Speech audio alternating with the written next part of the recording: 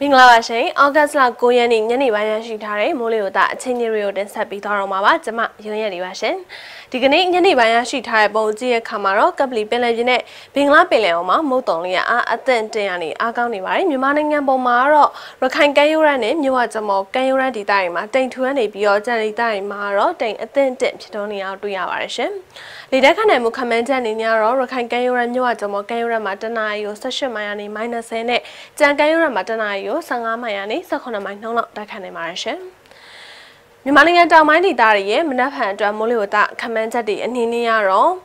စစ်တွေမကွေးပသိမ်ပဲခူးရှမ်းကုန်းမော်လမြိုင်ဖအံတဝဲစတဲ့တောင်ပိုင်းဒေသအားလုံးလိုလိုမှာမိုးရွာဖို့အလားအလာရှိနိုင်ပါတယ်။နေရာကျကျရနေနေရာအနှံ့ပြမိုးထစ်ထုံရနေတယ်လို့ခန့်မှန်းထားပါတယ်။မြန်မာနိုင်ငံမြောက်ပိုင်းဒေသတွေရဲ့မနက်ဖြန်အတွက်မိုးလေဝသခန့်မှန်းချက်တွေအနေနဲ့ကတော့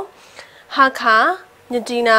မုံရွာမန္တလေးလာရှိုးတောင်ကြီးဟဲဟိုလိုက်ကောစတဲ့မြောက်ပိုင်းဒေသအားလုံးလိုလိုမှလည်းမိုးရွာဖို့လားလာရှိနိုင်ပါတယ်။နေရအနှံ့ပြနေနေရစိတ်စိတ်မိုးထထုံနိုင်တယ်လို့ခန့်မှန်းထားပါတယ်ရှင်။မိုးရေချိန်ခန့်မှန်းချက်တွေအနေနဲ့ကတော့မြန်မာတနိုင်ငံလုံးဒီဘက်မှာမိုးရွာဖို့လားလာရှိနိုင်ပြီးတော့မိုးရေချိန်တွေက40မီလီမီတာကနေ60မီလီမီတာလောက်ရွာသွားနိုင်ပါတယ်ရှင်။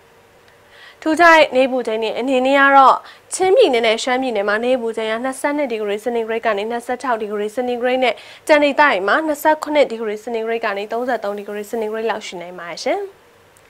မြမပင်လယ်ပြင်ခမန်းချက်အနေနဲ့ကတော့မြမပင်လယ်ပြင်မှာလှိုင်းအသင့်တန်နေလှိုင်းကြီးနိုင်ပါတယ်။ရခိုင်ကမ်းရိုးတန်းနဲ့ကမ်းလွန်ပင်လယ်ပြင်မှာလှိုင်းမြင့်၈ပေနဲ့ကြံကမ်းရိုးတန်းမှာတော့9ပေကနေ6ပေလောက်မြင့်တက်နိုင်ပါတယ်။မန်လေးမြို့နယ်အနီးတွားအတွက်9ရက်စာခံမှန်းချက်အနေနဲ့ကတော့လာမယ့်9ရက်လုံးမှာမန်လေးမှာမိုးရွာဖို့အလားအလာရှိနိုင်တယ်လို့ခံမှန်းရရှိထားပါတယ်ရှင်။ရန်ကုန်မြို့နယ်အနီးတွား9ရက်စာခံမှန်းချက်အနေနဲ့ကတော့လာမယ့်9ရက်လုံးမှာရန်ကုန်မှာလည်းမိုးရွာဖို့အလားအလာရှိနိုင်တယ်လို့ခံမှန်းရရှိထားပါတယ်ရှင်။